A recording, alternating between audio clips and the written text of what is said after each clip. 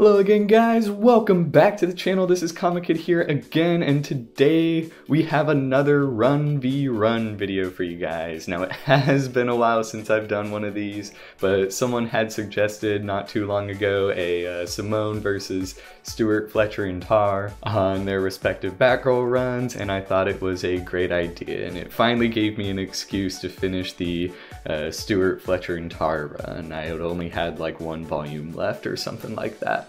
And so I'm finally caught up with everything in the new 52 for Batgirl. I have read beyond that point uh, as well, but I just never quite finished the new 52 run. Now, before we get started, be sure to hit like and subscribe as always, but I also wanted to uh, give a shout out to my friends over at Next Issue Podcast. If you guys like hearing other people's thoughts on like nerdy movies, TV, comics, they keep up with a lot of it. and so, yeah, they are great guys. I know they're available on uh, platforms such as YouTube, uh, Apple, and Spotify as well. So if you're looking to just support another nerd channel or just listen to some awesome guys chat about nerd stuff, then I'd definitely recommend giving them a shot. But we'll go ahead and jump right in. As always, we're going to start with Gail Simone's run just because it came first. Now, Gail Simone first picked up the Batgirl run at the start of the New 52 event for DC. And when it was announced that she was picking up the title, you know, a lot of fans were pretty excited. Uh, Simone had a lot of experience writing Barbara Gordon on her uh, Birds of Prey run before the New 52. And so fans kind of knew what to expect with Simone's approach to Barbara. Not in terms of plot, but they at least knew she was going to do the character justice. That said, the new 52 interpretation of the character did meet some criticisms just because while on one hand it was great to see Barbara overcome her injury, others kind of felt that she was equally as badass as Oracle, and so some people did criticize DC for some like lack of reputation in that matter, but that doesn't all fall on Simone. That is a major editorial choice as well. And despite whatever problems may have gone there, Simone still delivered a phenomenal interpretation of Barbara Gordon as a character. At the time that the run starts, Barbara hasn't been back as Batgirl for too terribly long. Uh, her friends and family are still, you know, telling her, hey, take it easy here and there. Uh, your legs aren't fully up to where they likely could be, and stuff like that. So readers really aren't missing any, like, recovery story there. Now, with that in mind, Simone also did a lot to both incorporate Barbara as a member of the Bat family and distance her from it as well. Uh, throughout the run, you know, you do see other members of the family like Nightwing and Batman, of course. And there are certainly elements of the story that feel forced, which we'll get to in a minute, but you really don't see other members of the Bat family too often. Simone also dives pretty heavily into uh, Barbara's relationship with her father, and especially so as uh, James Gordon Jr. kind of plays a factor, especially throughout book three. Now, in distancing Barbara from other members of the Bat family, Simone did a lot to give her her own villains. Uh, you really don't see Batgirl fighting any of Batman's villains except for maybe like once or twice.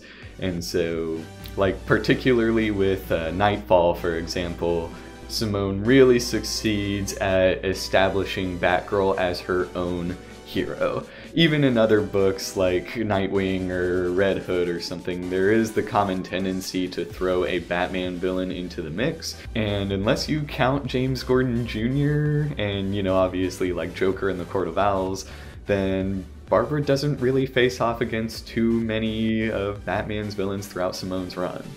Now, to start off with some of the weakest elements of Simone's Batgirl run, at least in my opinion, the series definitely feels kind of weighed down by events going on in Batman.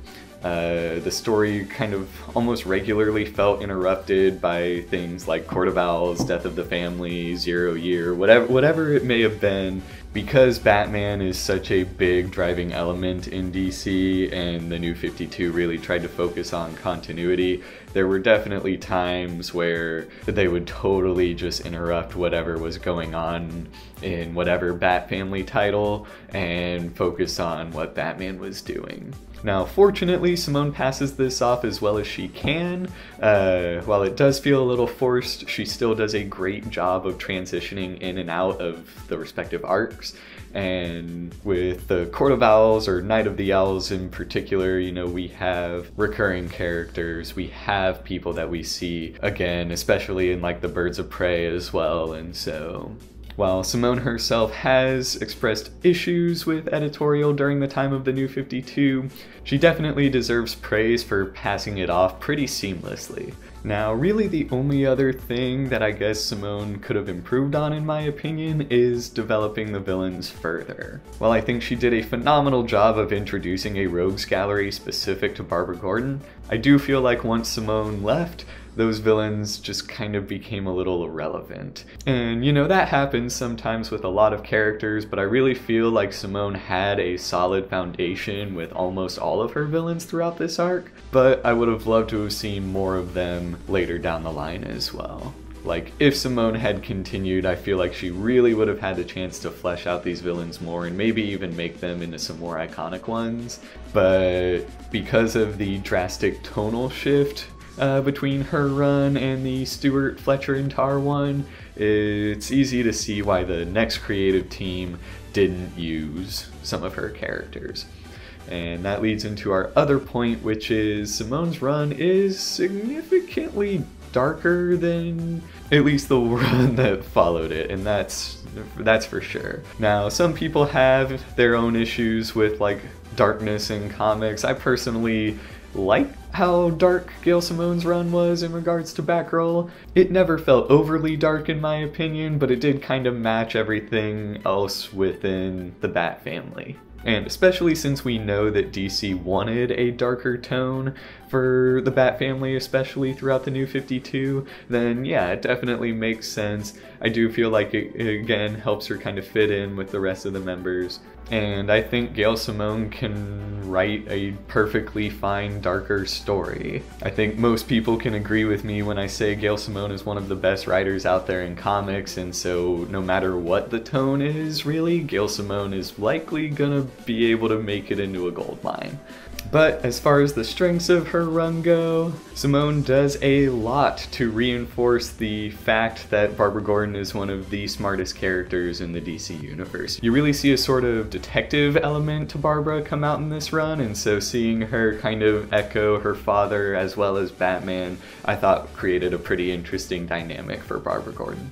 And then obviously, as I mentioned before, you have some really interesting new villains. I just wish they had stuck around more. Uh, Mirror and Nightfall in particular, I thought would have been great if they had just had a little bit more like of a fleshed out backstory. The story all throughout is just so excellent and while I do generally love almost everything with Gail Simone's name on it, I really feel like her Batgirl is one of her best works. Now, before we get into the uh, next run, uh, I do want to talk about the art for Gail Simone's run. Uh, she did work with Ardian Syaf for like the first two or three or so. He did do some on and off like artwork and they had like backup artists kind of throughout. Uh, I believe Eddy Barrows filled in after he stepped away. And minus the issues surrounding Ardian Syaf with uh, X-Men Gold, for those of you who don't know. Uh, the artwork throughout Gail Simone's run is generally pretty consistent, and I would say it's some of the strongest art uh, in any of the new 52 run. And even once Syaf leaves, I mean, Eddy Barrows is just a great artist in general, so if anything, they traded up, in my opinion. And then, like I said, there are a few other guest artists here and there for like annuals and whatnot, but uh, generally I did like the art uh, throughout the new 52 Batgirl. But that is about everything I have to say about the new 52 run. Now, to transition into the, like, DCU version of the character, like YOU. Uh, Cameron Stewart, Brenden Fletcher, and Babs Tarr picked up the title at issue 35, and this all kind of happened around the time when, uh, like, Dick Grayson was no longer Nightwing and he became Grayson, and like the Endgame stuff is coming up in Batman, and so Jim Gordon's about to become Batman, and so you had a pretty dramatic shift, especially in regards to the DC Trinity around this time. But I mean, the most notable and dramatic change that Stewart, Fletcher, and Tarr brought to Barbara Gordon was a massive tonal shift. And before we get too far into this, I do want to clarify that this is in no way an endorsement of Cameron Stewart's work. It is literally just my observation of the run. And if you choose to support it or not, that is entirely up to you, the viewer. But this is the run that also brought in her kind of now iconic uh, purple Batgirl suit. Uh, there's no denying that Babs Tarr is just a phenomenal artist, and while I myself prefer the new 52 like black and gold, I thought that looked great. I definitely see the appeal to the like purple and gold and generally what is referred to as the Babs Tarr design for Batgirl. It is a really sleek looking suit. I just prefer the more like armored, plated type look myself. But with a new suit and a new tone, this version of Batgirl definitely brought kind of an all new audience on board. And I wouldn't say it's geared towards a younger audience by any means, but it is a different demographic. That said, while some people enjoyed the darker tone throughout Gail Simone's run, it is kind of nice to see Barbara Gordon finally start to let loose and kind of have a bit of fun off to the side as well. Now, Stewart, Fletcher, and Tarr do build off of what Simone did, but really the only connecting thread is through Alysia, who was Barbara Gordon's roommate and is now more so just kind of like a reoccurring character throughout this run. And then you do have her relationship with Black Canary, which has its ups and downs throughout Fletcher and Tarr's run, especially, and so there, there are some connecting threads, but for the most part, it's pretty much a fresh starting point. Now, I feel like my biggest complaint with this run overall is it kept feeling like it was building towards something and never quite got around to it. And if I had to guess, and this is totally just me speculating, they had the idea for the Motor Crush plot. This team went on to develop the Motor Crush series over at Image, which is also really good if y'all get a chance. And I got the impression that that was going to be their next arc, but they liked the idea so much and didn't want DC to be the sole, like, profiteer or whatever off of it, and so they went to go do that on the independent side. Again, I have no factual evidence to support that, but reading their Batgirl and Motor Crush, I do feel as though other people could see where I'm coming from in regards to that. Now, Simone's run also went on for five volumes, and the Fletcher and Tarr stuff went on for only three volumes worth, and so it is a bit shorter. Had they had the time to actually like get their quotey fingers, then it would have probably been much more solid. Uh, like with Simone, uh, this team did develop a few of their own unique villains, I personally didn't think they were as strong or as memorable, but I mean, what you gonna do? Uh, that said, where this team really succeeded and I guess shined is in uh, their approach to the brains of Barbara Gordon. Though Simone herself did highlight just how smart Barbara Gordon is, this team really kind of took it to another, like, equal type level. Uh, Simone focused more on the detective element to Barbara's brain, while Fletcher and Tarr focus a lot more on like the techie side. And so you see Barbara kind of work with others to develop her own gadgets and all around she just kind of does a lot more with technology. Effectively, you see a bit more of the Oracle element of Barbara Gordon in the Fletcher and Tarr stuff. Now, furthermore, uh, Fletcher and Tarr also did a great job of pulling Batgirl further from the Bat family. while I agree that Simone had a pretty good balance of keeping Barbara independent and incorporating other members of the family, uh, really the most recurring DC character throughout this run is uh, Black Canary. And again, there are still plenty of mentions of the other characters, and it's not like you don't see any of them, but there are significantly fewer appearances than there were in Simone's run. And furthermore, also unlike the new 52, uh, Babs Tarr did like almost all of the artwork in this series. There are only like a, a handful of issues that Tarr didn't do. And so all around the artwork is just very consistent and especially if you like Babs Tarr, then you good news is you have almost the whole run of just Babs Tarr art. Unfortunately, the same can be said if you don't like Babs Tarr and you're just kind of stuck with her throughout this series. Now, as far as how the artwork relates to the overall story, I definitely feel like Babs Tarr fit this tone perfectly, while the other artists in Gail Simone's run also fit hers very well, and so I don't really have a preference on art, but both suit their sto respective stories incredibly well in my opinion. Now, overall, between the two, I do gotta say that I feel like I prefer Gail Simone's run. Uh, it's not that I dislike the Stewart Fletcher Tarr stuff by any means, and obviously Simone had the added advantage of length, but overall, I mean, maybe it's just because I'm a sucker for Gail Simone's work, but all around, I thought Simone's Batgirl was just significantly stronger all around.